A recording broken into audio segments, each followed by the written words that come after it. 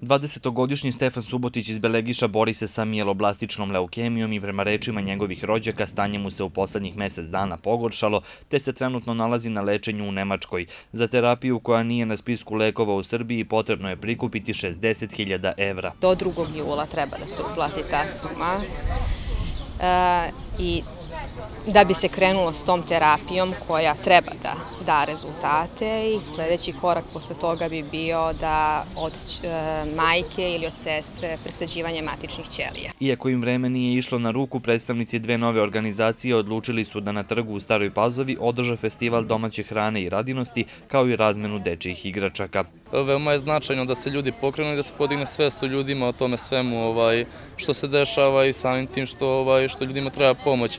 Kratki su periodi za, za, za koje je potrebno mnogo, mnogo, mnogo novca da se, da se skupi. Mi naravno pokušavamo, svesni smo da ne možemo ni približno toliko, ali ako se uključi više organizacija, naravno da možemo napriti veći, ovaj, veći prihod. Jako, jako je bitno da se uključi što više ljudi, znači kogod može da pazočani, uopšte svi iz opštine, ono, izađu, ono, kad, kad se nešto dešava, da dođu u što većem broju, da ih ne mrazi, da dođu i do rasadnika ili do Belegiša, već gde, prvo što će njima prijati da učine nešto za nekog pozitivno. Već naredna humanitarna akcija zakazana je za nedelju u istom prostoru, a organizatori apeluju na sugrađane da do tada pošalju SMS sadržine 360 na 3030.